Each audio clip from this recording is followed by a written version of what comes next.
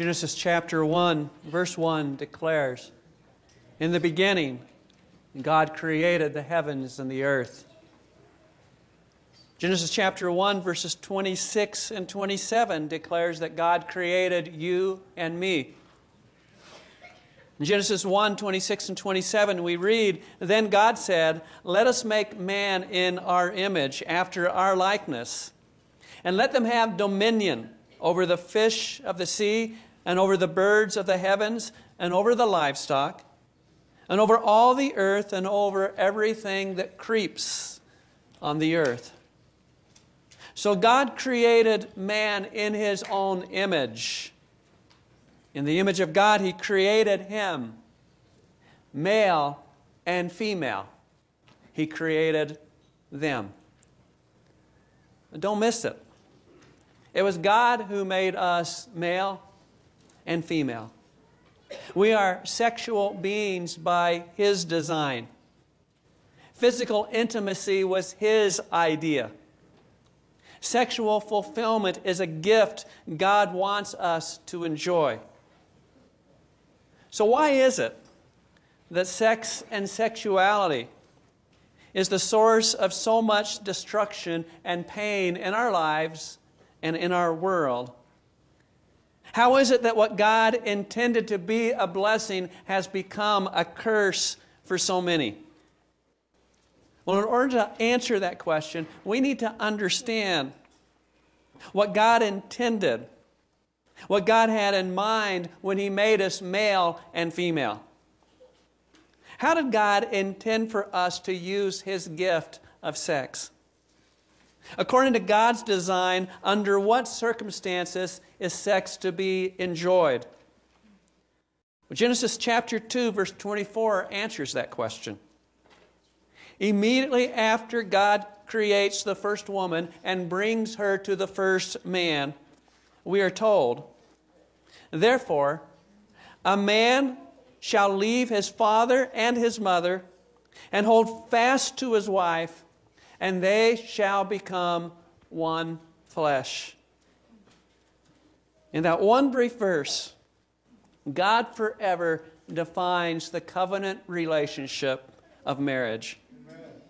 By God's design, marriage is a lifelong relationship between one man and one woman who leave their homes of origin and who hold fast or cleave to one another in a committed, exclusive, lifelong relationship.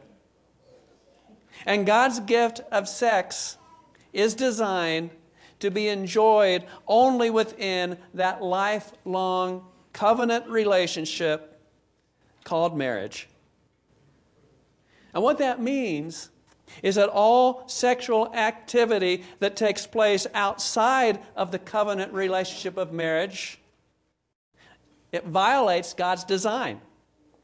All activity outside, sexual activity outside of marriage, is in fact an abuse of God's gift of sex and sexuality. And it is that abuse of God's gift that so often makes sex and sexuality a source of so much destruction and pain in our world today. With that in mind, turn with me to 2 Samuel chapter 13, verses 1 through 20. 2 Samuel chapter 13, verses 1 through 20. We as a church have been reading through the Bible this year. We're calling our reading the journey as we move through Scripture. And this week you read from 2 Samuel chapter 13, verses 1 through 20. You read one of what I think is one of the ugliest stories in the Bible. It is a story of lust, it is a story of abuse, it is a story of grief that misusing God's gift of sex brings into life.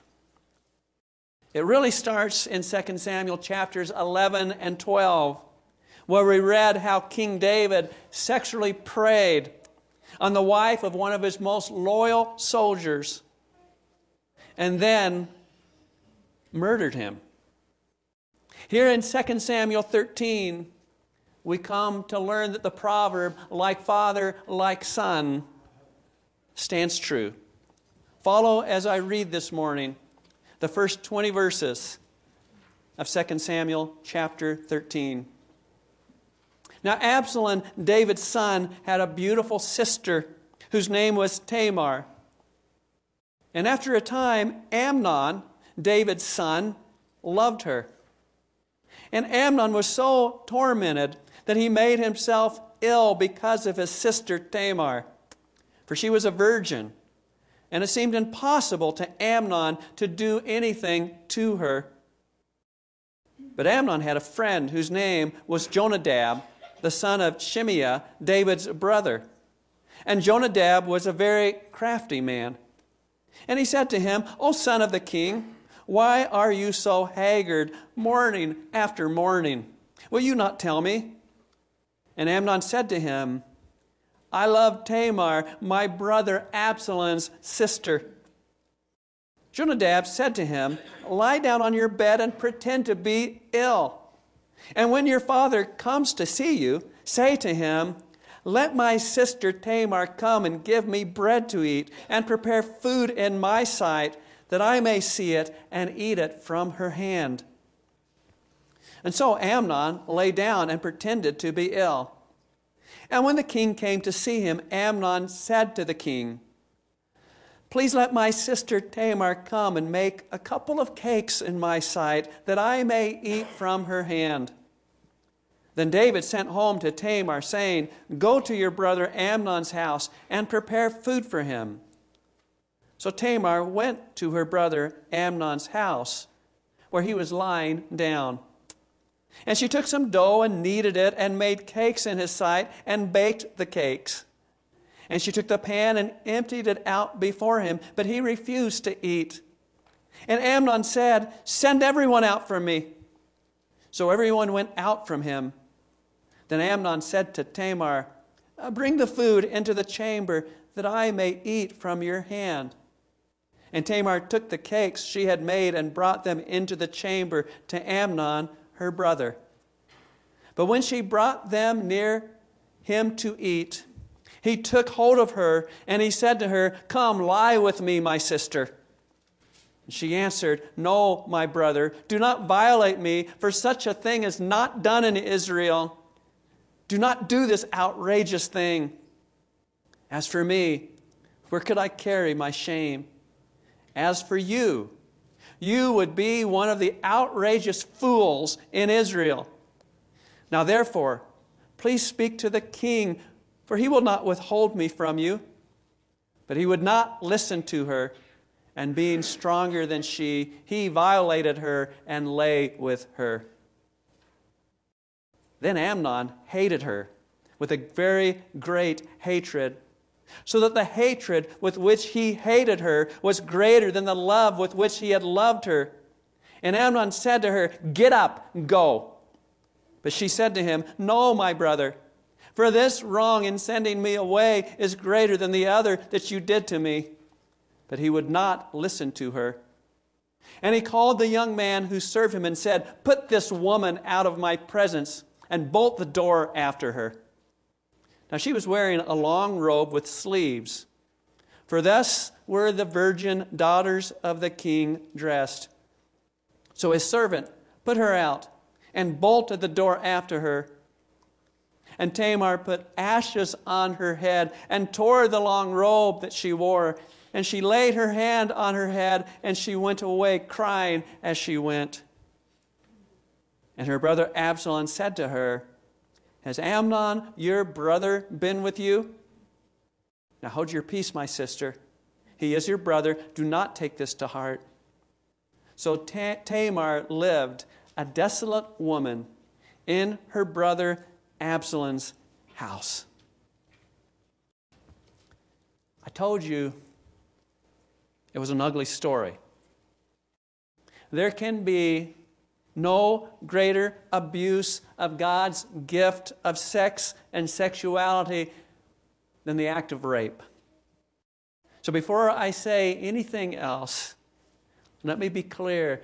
In this story, Tamar is the victim Tamar bears no guilt.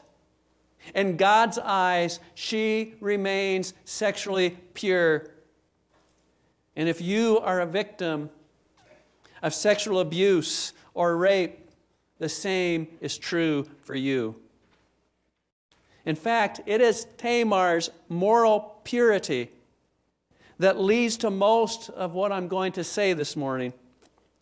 Tamar was a woman who understood God's purpose for sex and sexuality. In verse 2, we learn that as an unmarried woman, Tamar valued her virginity. And because she guarded her virginity, Amnon knew that she would never submit to his lustful desires voluntarily.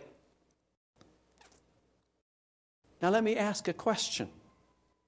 As followers of Jesus Christ, before we marry, shouldn't we value virginity like Tamar valued it?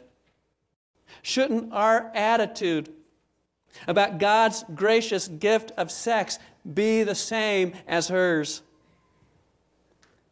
Let's answer that question by discovering why Tamar valued her virginity like she did.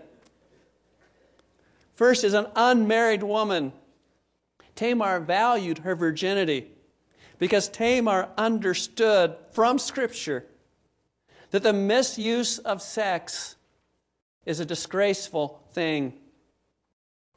When Amnon grabbed Tamar to rape her, she pleads with him at the end of verse 12. And she says, Do not do this outrageous thing. The NIV translates, Don't do this wicked thing. The New American Standard translation says, Do not do this disgraceful thing. You see, Tamar understood that sex outside of marriage is wicked and it is disgraceful in the eyes of God. Do we understand that? We live in a world that tells us there is no such thing as sin. And there's especially no such thing as sin when it comes to sex. We live in a world where many tell you that you need never feel ashamed, whatever you do. I mean, the movies declare it, the sitcoms tell us that it's true.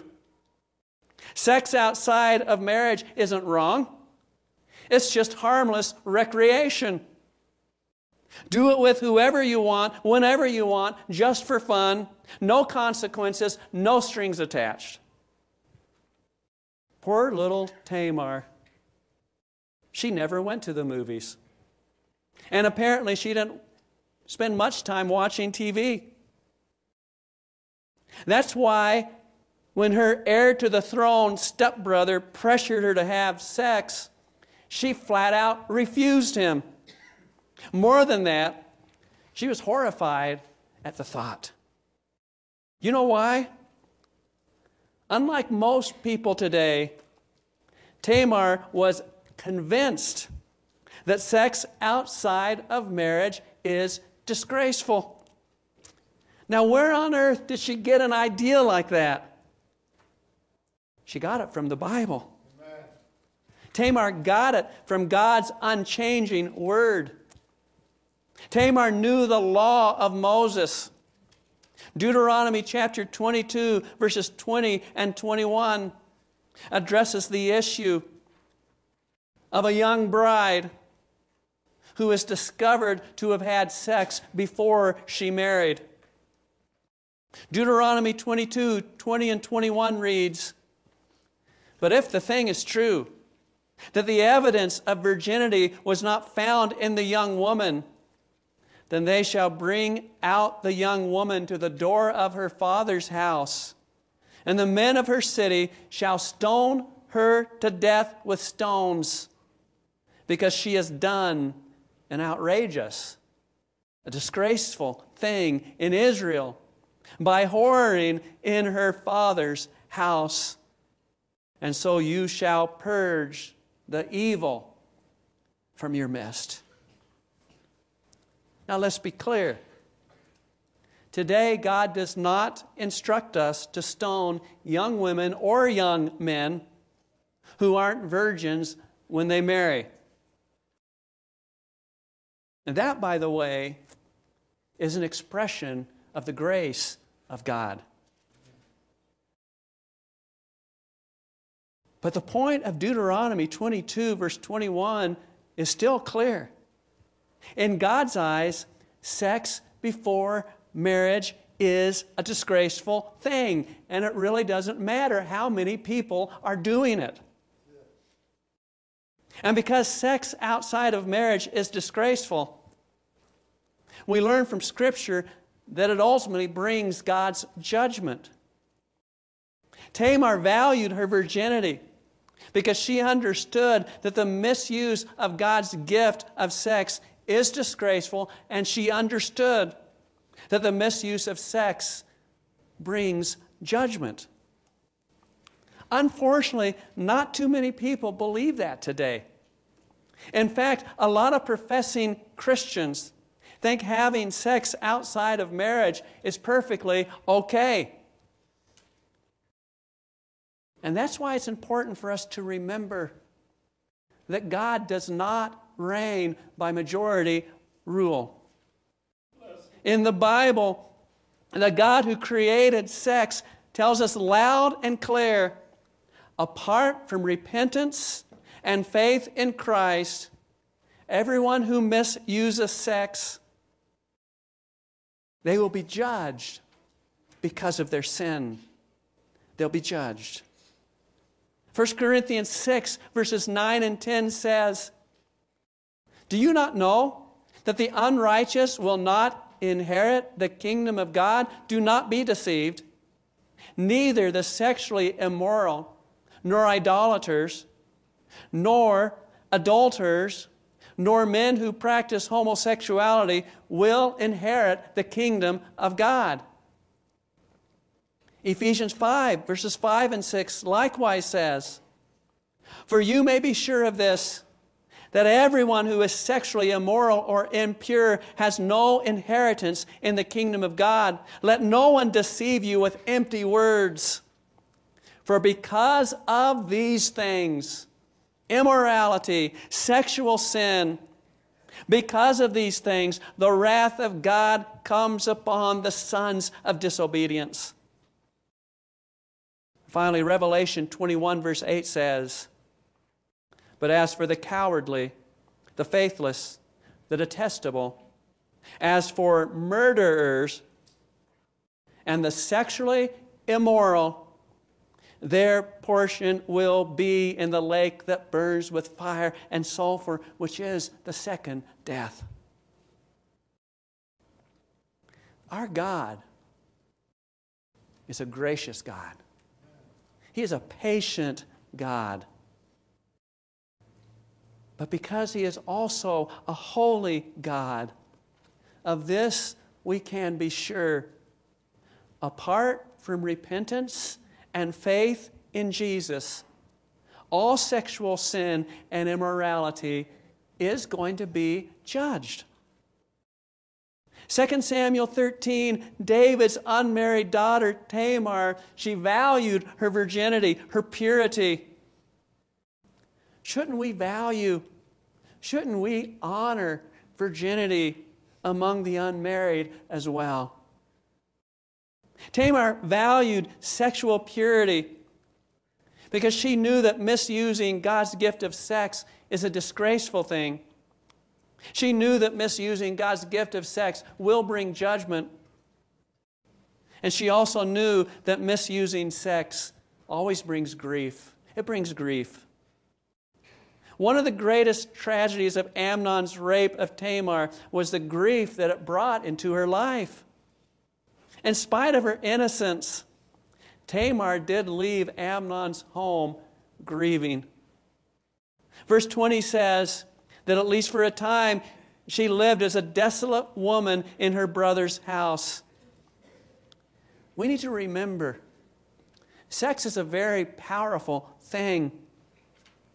Sex has the power to deepen intimacy between a husband and a wife.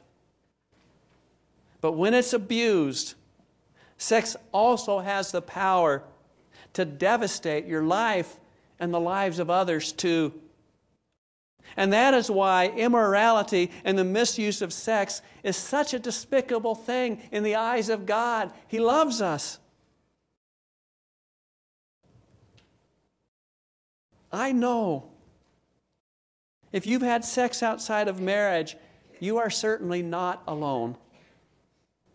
One study reports that as many as 80% of unmarried professing Christians have had sex outside of marriage.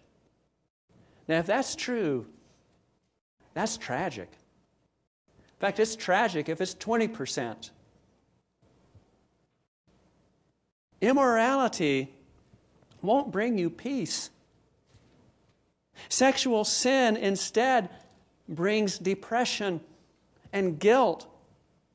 Immorality will not enrich your life. And it certainly doesn't bring you the intimacy that you desire in your life.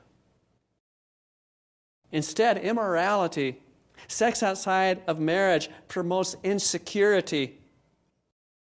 And spiritually speaking, sexual sin will rot you from the inside out. See, until we marry, we need to value our virginity. We need to pursue sexual purity because the misuse of sex is disgraceful in God's eyes. And because it's disgraceful in His eyes, it brings judgment. More than that, we need to pursue sexual purity because the misuse of sex brings grief. And here's one more thing. Until we marry, we need to value our virginity because the misuse of sex is not love, it's lust. The misuse of sex is not loving, it's lustful. 2 Samuel chapter 13 verse 1 tells us that Amnon he loved Tamar. He loved her. Verse 4 says that he loved her too. So does verse 15. But we have to ask what kind of love did Amnon have for Tamar? Is deception and lying, is that an expression of real love? Is violence and rape an expression of real love? How about throwing a woman out of your house and out of your life after you've used her to gratify yourself? Is that an expression of love? I promise you, that's not love. That is selfish lust. And tragically, selfish lust is what too many women seem to be willing to settle for today. And I beg you, young women, don't be one of those women. Don't settle for men like that. Don't forsake yourself and your God for the sake of man who talks about love on the one hand, but then who demands sex outside of the security that marriage provides on the other hand. That man has no love for you. That man has lust. You want to know what real love is? You want to know what real love looks like? And turn to 1 John chapter 4 verses 8 and 10. 1 John chapter 4 verses 8 through 10. Here we find what real love looks like and how real love acts. At the end of 1 John chapter 4 verse 8, we are told God is love. In this, the love of God was made manifest among us, that God sent His only Son into the world that we might live through Him. In this is love, not that we have loved God, but that He loved us and sent His Son to be the propitiation, the atonement for our sins. Men and women, do you want to know what real love is? Then look at the love God has for you and for me. In 1 John 4 8 through 10, here's what we see. Verse 10, we learn that real love is unconditional. Verse 10 tells us that God doesn't love us because we first love Him. God doesn't love us on the basis of what we do for Him. God simply loves us unconditionally in spite of what we do. God loves us no matter what. You know what that means? It means the man who only loves you when you give him sex doesn't love you at all. That's because real love is unconditional love. If he doesn't stay around, if he won't stay around unless you give him sex, he doesn't love you. Second thing we learn about real love is that it's only it's always willing to sacrifice to meet needs. Listen again verses 9 and 10. In this the love of God was made manifest among us that God sent his only son into the world that we might live through him. And this is love, not that we have loved God, but that he loved us and sent his son to be the propitiation, the atoning sacrifice for our sins. Do you see it there? Real love does what is best for the other person. And real love does what is best for the other person, even when it costs them, even when it requires sacrifice. Now go back and think about Amnon's love. Did Amnon really love Tamar? Was his love unconditional? I think it's pretty safe to say that locking someone out of your house after you've raped them is not an act of unconditional love. So, what about sacrificially meeting Tamar's needs? Was Amnon concerned about Tamar's needs? What was best for Tamar when he lured her into his room? Was Amnon concerned about Tamar's future when he raped her? Did Amnon ever have her best interest in mind?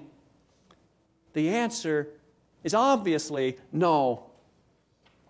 Amnon didn't love Tamar, Amnon loved himself. And women, let me tell you, that's exactly the way it is for any man who pressures you for sex without providing you the security God intends in the covenant of marriage. A man like that has no love for you. A man like that has only lust. Why would you settle for that kind of man? Fear God, respect yourself, and tell that kind of man to take a hike.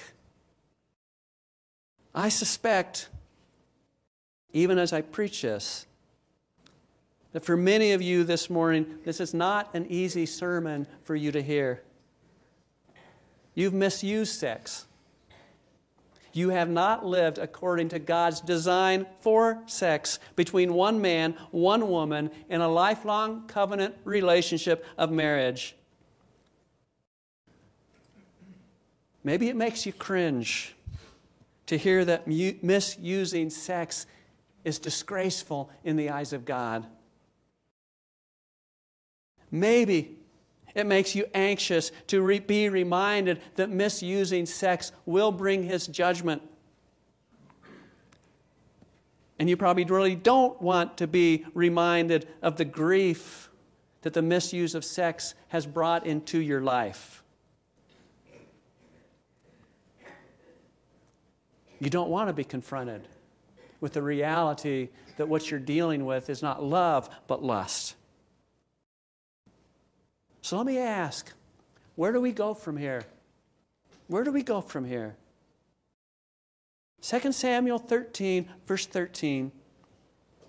Tamar asked a question I think all of us need to ask regarding our sexual sin. Tamar asked the question Where could I, in our case, where can I carry my shame?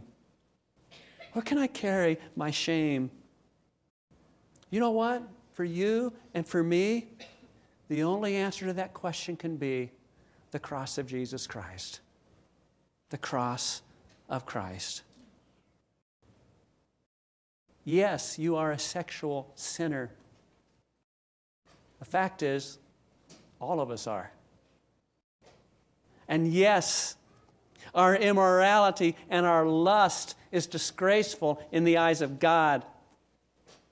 And yes, we do deserve death and condemnation. But you know what?